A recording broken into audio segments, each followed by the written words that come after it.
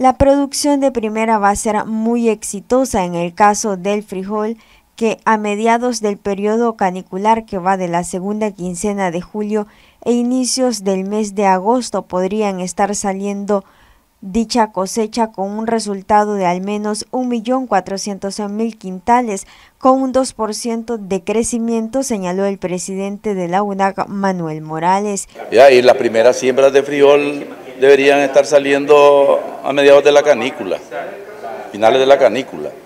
Y ahora hay, las cosas son bien contradictorias en la vida. Si nosotros tenemos una canícula seca, vamos a tener la seguridad que se va a poder cosechar el frijol sin pérdida alguna, pero el maíz se puede ver afectado.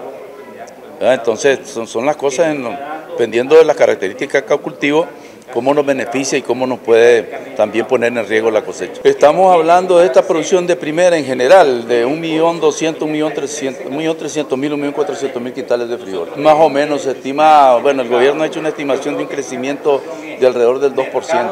Eh, estamos hablando de un poco más de 100.000 manzanas de primera. Recuerden que la primera es la siembra menor, la de postrera es la mayor y después apante, porque la, la, principal, la principal siembra que nos permite a nosotros producir granos de mejor calidad para la exportación. Indicó que los precios del frijol se han mantenido y que el quintal ronda arriba de los 3.000 córdobas. Este año vamos a tener un poco más de ingresos que el año pasado.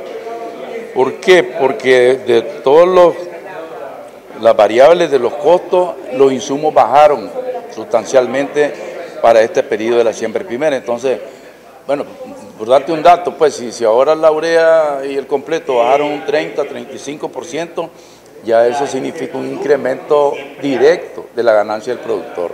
Y así vamos también con otros insumos que en la producción convencional se usan como insecticida, herbicida, que en algunos casos bajaron hasta el 100%, en algunos casos. Noticias 12, Darlene Telles.